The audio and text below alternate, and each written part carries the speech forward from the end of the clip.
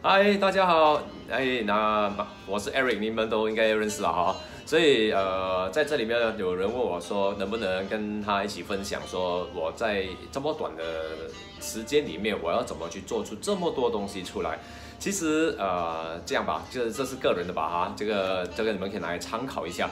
就是在时间管理方面呢，其实每个人都有自己的这个策略，而我自己呢是这样排吧，呃，我我我会把我的所有的东西呢，就是会先列出来，然后列出来之后呢，我就会放进我的 calendar。我们大家都有 iPhone，都可以把它放在 calendar 里面嘛，对不对？那么每个月应该在哪一天要做的东西啊，我都会放一个 recurrence，呃，一个 recurring 的 reminder 在里面。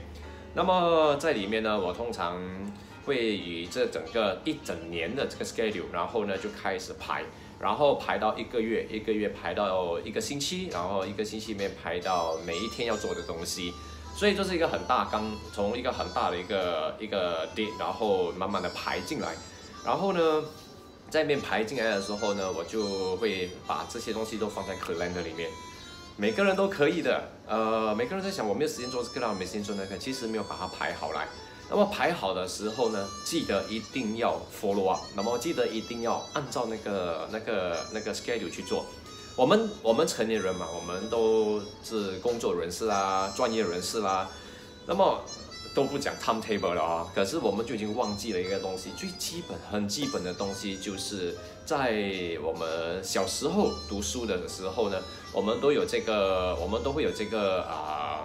Timetable 这个 timetable 来告诉我们几点要上什么课啦，什么时候上什么课，带什么书本啊这些东西。所以在在这个社会里面，当我们开始工作的时候呢，其实我们也是可以这样排的。那么我排的时候呢，我会排到很像从年的排到月的，再排到星期的，然后再排到这个天的。就在这个天里面的呢，我就会开始排，从早上。一开始起床我就要做什么东西，做什么做什么东西。那么很多人都说，OK，我早上六点起床，然后我七点要做什么，八点要吃什么，九点要上班，十点要觅谁呀，十一点要开什么会啦。其实不应该这样排的啊，我个人呐哈，我个人觉得是应该是我我我通常是从后面排到前面来，我是从后面排到前面来。那么我从怎么排呢？呃。就是说，我的今天的最后一个 appointment，或者是最后一个 task，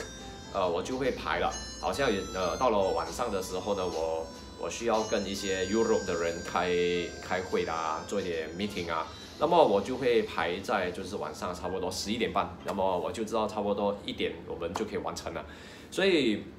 我就知道说一点我就可以去睡觉，所以我会从十一点半开始排 Europe 的这个 meeting 啊，然后八点啊是什么的 meeting 啊，然后再排回来六点是怎么样啊，然后再排回五点是怎么样啊，三点怎么样啊，一直排排排，从 end of the day 慢慢排排排排到最前面来，就是刚刚睡醒的那一天那个那一刹那。所以在在在这一方面的话，可能我是这样排的时间会比较适合我，因为我觉得说。可能中间有一些卡住，或者是有些人不可以 attend 我的 meeting，或者是我那个人突然间没办法来 meet 我啊，或者是 like you example 你在做 sales 啊，那么他不能 meet 你的话，你知道，哎，这个时间是空档的，那么你可以把后面的拉来前面一点，那么的话呢，你可以把，那么你可以早点放工啊，是不是？所以呃，时间的安排，我的个人的安排是这样。所以，我希望说，今天我有一个小小的这样的分享，那么希望可以帮到你们，好不好？OK，谢谢你们。如果有什么想要问我啦、分享的话，让我知道。然后呢，呃，PM 我，我尽量帮你呃找一些资料，然后看看适不适合啊，大家可以分享分享，大家一起学习，好不好？谢谢你们。OK，好的，再见。